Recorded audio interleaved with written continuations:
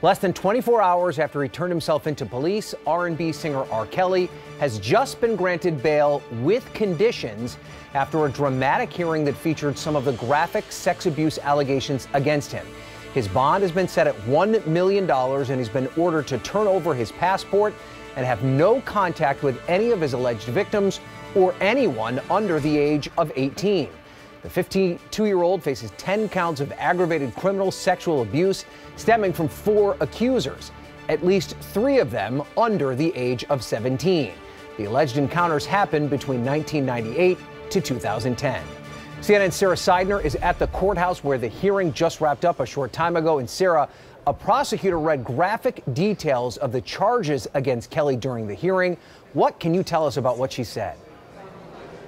Look, this is the reality of this case. It is going to be difficult to listen to and imagine being family members of the alleged victims who were also listening to some of these details in court. I can now tell you we have confirmed that one of the alleged victims in this case was in court today. I had a very short conversation with her. She is now being represented by Michael Avenatti. Uh, I can tell you that she was emotional, as you might imagine, uh, in this particular courthouse today as bond was being set. Uh, the state's attorney had uh, at, at, first asked for no bond. Uh, what we now know is that bond has been granted, uh, and he can pay $100,000 total to uh, get out of jail and be able to be out of jail until his trial. However, the bond was $250,000 per alleged victim, which means the total amount was a million uh, dollars. Uh, at this point, his attorney has said, you know, that he is having all sorts of money problems uh, because he's been dropped from his record label, among other things.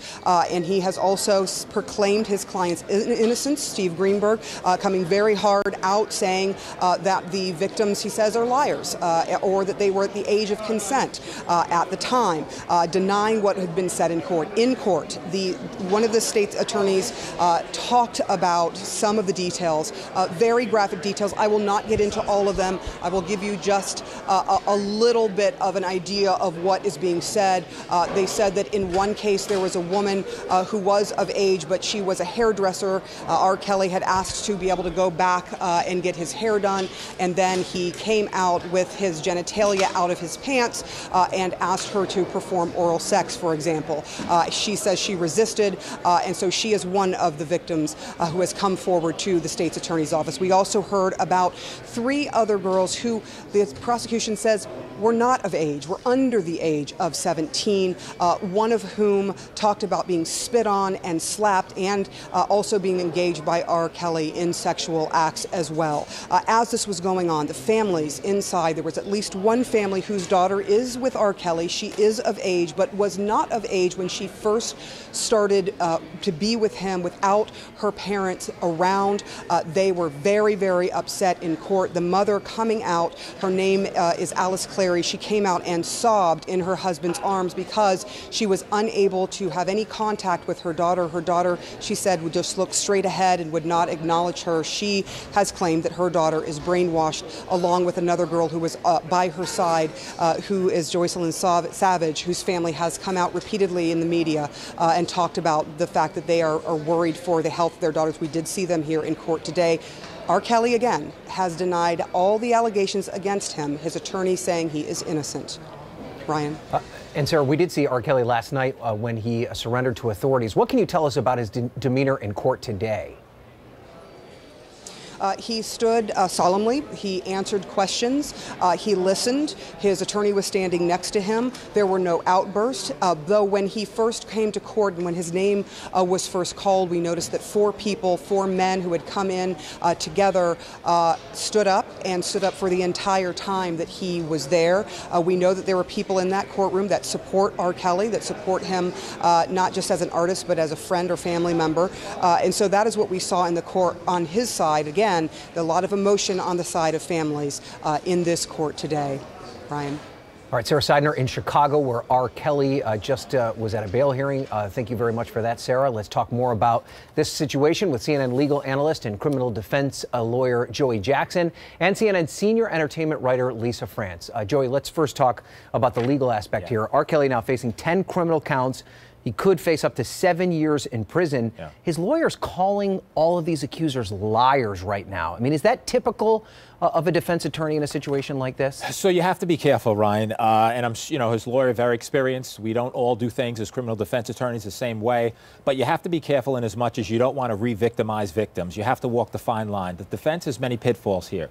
Uh, the first pitfall, of course, is that we are in a new era. We're in an era of Me Too. We are in an era of Time's Up. We are in an era as of I'm mad as heck and I'm not going to take it anymore. Right. And you see the chickens coming home to roost. In that climate, you don't want to demonize victims. Uh, you don't want to assail them, but, but at the same time, the attorneys at, in the time of court are going to need to challenge the credibility. The other issue that is uh, quite concerning in this case is that you have four different victims in that indictment. Mm -hmm. And if you see, if you have seen any of the documentary and any of the compelling, uh, really discussions and really testimonials that the women have given, it's compelling. Right. And I could only imagine how a jury would process that information. In addition to that, Ryan, you have the issue of any prior bad act evidence. That is, not that he's been convicted before he was acquitted, but you can use certain other women to come in and to say he did this to me right. too, showing motive, showing who it is, and just showing that this is, you know, what this guy is all about. And so the defense has a lot of pitfalls here. Want to point out presumption of innocence, yes. innocent until proven guilty. This is only an indictment. Us defense attorneys are quick to say an indictment is a mere accusation. Yep. Those grand jurors just sat there and they determined whether there was probable cause to believe that a crime was committed, and he committed it. There's not a judge in the grand jury. They're not subject to cross examination, mm-hmm. but still very significant development. It's one thing to call one person a liar, to call four potential people liars, uh, probably a whole different situation. And Lisa,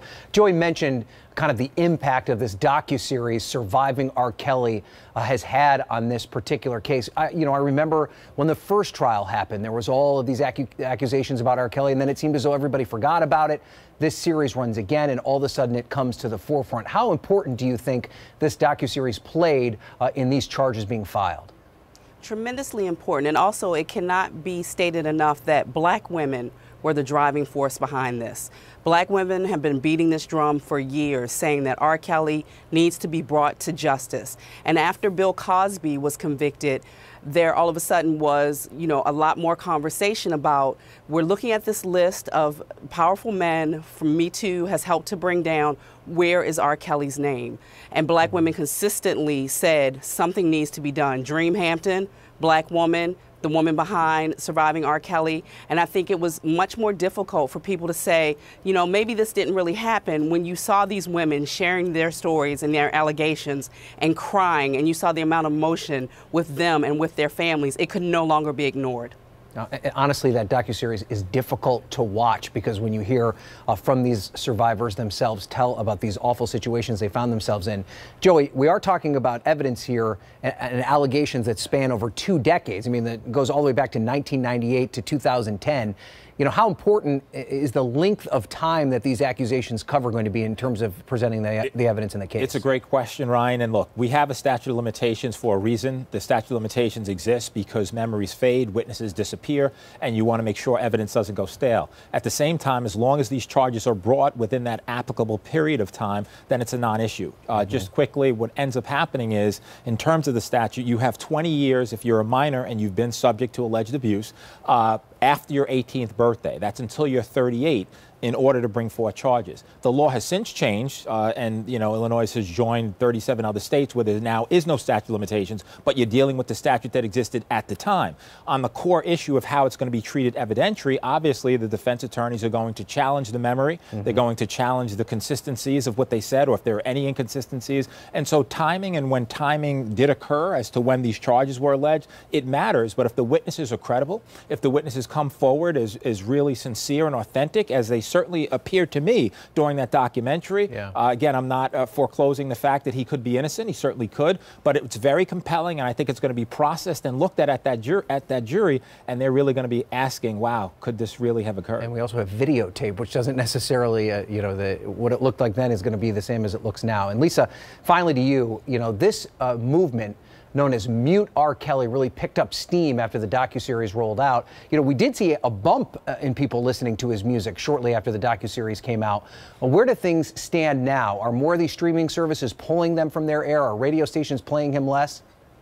Radio stations have been playing him less for a while, and I think people forget that part of the reason why you had the bump is because there were people who weren't familiar with R. Kelly's music. You know, there mm-hmm. are some people he has, still has a really strong fan base and he has a lot of supporters. But there were also people saying, you know what, hey, who is this R. Kelly guy? What is the situation all about? And checking out his music. So, you know, a lot has been made about, you know, why were people tuning in and listening to him when all these accusations were out there in the public media. But keep in mind, not everybody was aware of the R. Kelly story. But for those who know, they now are saying that this might actually be you know, justice served for some of these women behind these allegations. So we'll just have to wait and see. You know, um, as you pointed out, he's innocent until proven mm -hmm. guilty, but there were a lot of hard feelings after he beat the charges in 2008.